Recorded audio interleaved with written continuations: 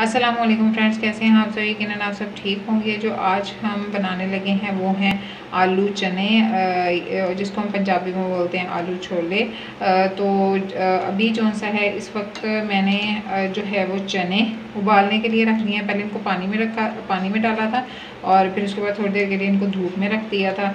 और अब इसके बाद जो सा है वो मैंने चने चूल्हे पर चढ़ाए हुए हैं और इसके साथ ही मैंने जो सा है वो आलू भी डाल दिए आपका दिल करे आप अलग अलग उबाल लें और आपका दिल करे तो इकट्ठे भी उबाल सकते हैं। तो मैंने तो जो सा ना, इकट्ठे उबाले हैं। ठीक है, जैसे ही ये चने नरम हो जाएँगे, आलू थोड़े नरम हो जाएँगे, फिर उसके बाद हम बनाना स्टार्ट करेंगे। जी तो जैसे कि मैंने आपको दिखाया था उस वक्त के आलू और चने जो से थे वो मैंने उबालने के लिए रखे थे।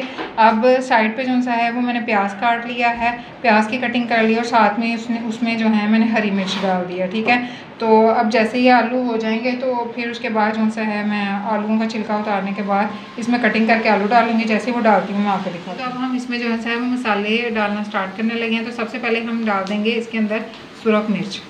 तो ये हमने आधा चम्मच जो सा है वो सूख मिर्च इसके अंदर जो हरी मिर्च डालने के बाद इसके अंदर अब हम ऐड कर देंगे थोड़ी सी काली मिर्च ठीक है? इसके बाद हम इसमें डालेंगे नमक। तो अभी इतना हमने जो सा इसके अंदर जो है वो नमक ऐड कर देना ठीक है? तो ये अब हमने इसमें नमक इसमें जो सा वो थोड़ा सा ज़ीरा ऐड कर देना ठीक है? आपके सामने है आलू मैंने जो है वो उबाल ली हैं ठीक है? अब इसकी मैं जो है वो कटिंग करना स्टार्ट करती हूँ ठीक है? फिर मैं आपको दिखाती हूँ कि इसकी मैंने किस हिसाब से कटी जैसे कि आप देख सकते हैं चने भी अब मैंने उबाल दिए हैं ठीक है? अब आलू की कटिंग करने के बाद जो है वो साथ ही मैं इसमें चने ऐड तो जैसे कि मैंने आपको बताया था कि आलू छोले का जो मसाला है आलू चने का मसाला वो इस तरह से मैंने बनाया था। उसमें प्याज डाले थे ग्रीन मिर्च डाली थी लाल मिर्च डाली थी नमक डाला था ज़ीरा डाला था सारी चीज़ें डाली थी। अब जो उनसे हैं मैंने आलू इस कटिंग में काट लिए ये आपके सामने है, ठीक है? जैसे कि आप देख सकते हैं, इस कटिंग में आपने जो से हैं वो आलू काट लेने, ठीक है? अब ये कटिंग किए हुए आलू जो से हैं वो मैं इसमें ऐड कर दूँगी, ठीक है?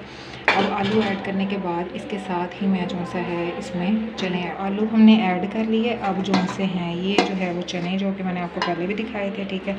अब ये चने जो से हैं वो मैंने इसमें ऐड कर लेने हैं, ठीक है? ये आपके सामने है, ठीक है?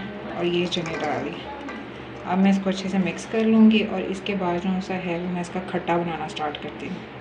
ये देखिए, इतना अच्छा लग रहा है, ठीक है?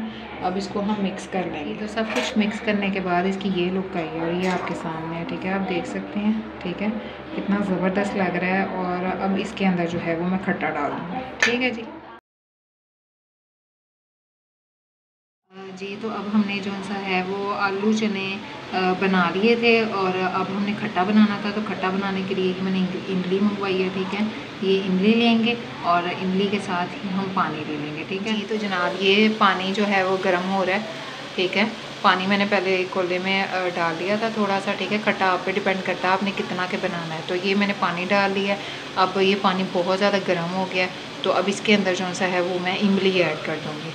ठीक है सबसे पहले मैं एक डालूँगी ऐसे और फिर उसके बाद हमने जो है वो आलू छोले का मसाला बनाया था और मैंने कहा था कि हम जो है जब खट्टा बनाएँगे तो वो हम डालेंगे। तो खट्टा मैंने आपको बता दिया कि किस तरह से डालना है और बनाना है। ठीक है तो उसमें पहले हमने पानी लिया था फिर इमली डाली और थोड़ा सा आपने चाट मसाला भी ऐड कर देना है ठीक है?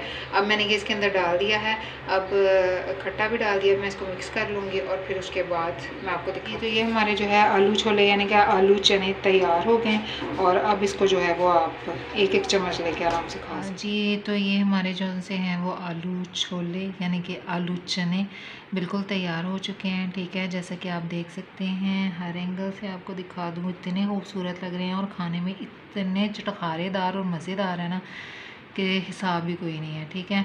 आप भी इसी तरह से बनाइएगा, अपने घर में ट्राई कीजिएगा रमज़ान रमज़ान में अफ्तारी के टाइम आप ट्राई कर सकते हैं इसको और इसी तरह से बना कर देखें और मुझे कमेंट सेक्शन में बताएँ, आपको कैसा लगा फ़ीडबैक दें अपना और तब तक मेरी नेक्स्ट वीडियो का वेट करते रहें और मुझे दें इजाज़त, खुदा हाफिज़।